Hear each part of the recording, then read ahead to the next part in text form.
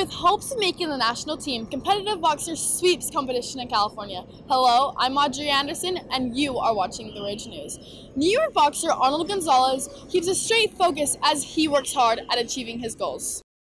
Growing up with harsh circumstances in Harlem, New York, Gonzalez stayed out of trouble as he discovered his passion for boxing. Being raised by my grandmother and my mother and being around more about around bad influences rather than positive influences and being able to keep a straight focus on what I wanted to do.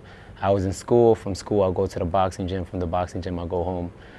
Everyone around me will be doing the wrong things. The majority of, not everyone, the majority of people will be doing the wrong things, but being able to think ahead, think of the consequences, thinking of what could have happened and just keeping that straight focus and while Gonzalez's peers made poor choices, he dedicated his time and energy to what mattered most to him.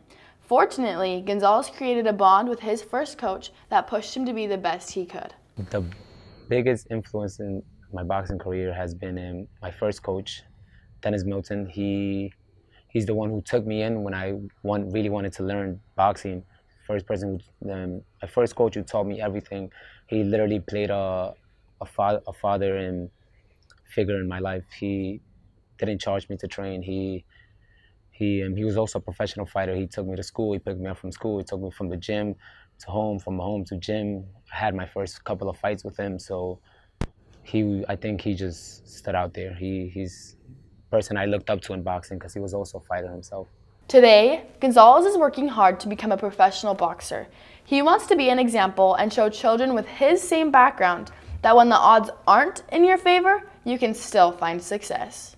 My end goal is to take it as far as I can, of course. I'm super passionate about boxing, but I'll say my ultimate goal will be of course you want to make money when you're when you're you want to be a prize fighter, but I do want to give back to the to my community and to the people that and to the kids, especially the kids who are raised with a single mother who's who I know what it feels like to to be in their shoes. I just want to be able to go back to my neighborhood, go back to any neighborhood that struggling and be able to give back.